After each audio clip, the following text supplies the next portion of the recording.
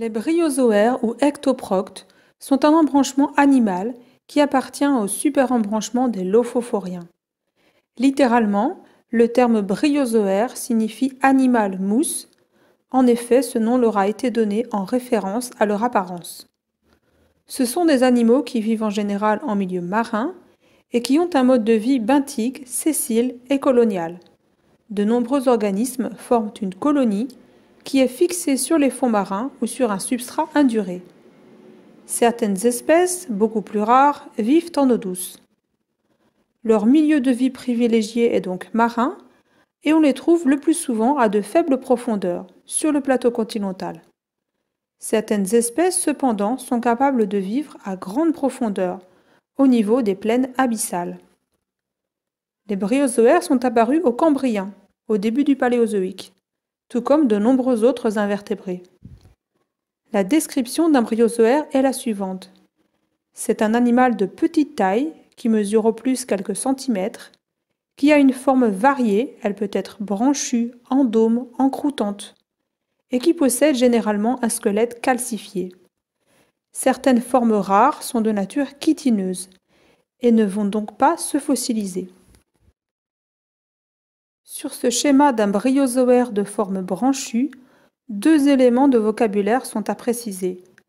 La colonie dans son ensemble, qui mesure quelques centimètres, s'appelle le zoarium, et l'individu isolé, de taille millimétrique, s'appelle une zoétie. Du fait de leur petite taille, les bryozoaires sont difficiles à étudier macroscopiquement, et leur étude détaillée se fera donc au microscope. Voici ici deux exemples de bryozoaires.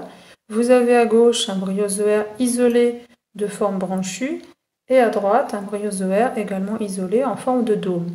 On voit que la colonie ici mesure tout au plus quelques centimètres dans son ensemble et que les os ici sont à peine visibles, elles mesurent quelques millimètres. Ce sont les petits trous ici que nous voyons à l'intérieur de la colonie. Vous avez ici à l'image un autre exemple de bryozoaire qui s'est installé sur une coquille de bivalve. Il s'agit ici d'une moule méditerranéenne. Sur cette coquille, ici de couleur sombre, nous voyons différents organismes. Vous avez ici, tout en haut à côté du crochet, d'autres bivalves. Vous avez ici en bas une balane, c'est un crustacé. Et puis toutes les zones ici blanchâtres, grisâtres, ce sont des bryozoaires encroûtants. On distingue difficilement les petits trous ici qui correspondent aux ici. Et vous voyez qu'une étude détaillée nécessitera l'utilisation d'un microscope. Je termine cette vidéo avec quelques images. Voici tout d'abord une vue plus rapprochée de la coquille de moule que nous venons de voir, avec ses bryozoaires encroûtants.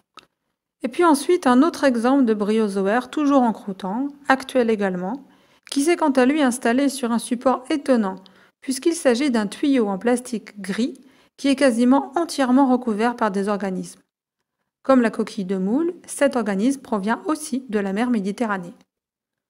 Et enfin, une vue au microscope de bryozoaire, photographiée en lumière polarisée non analysée.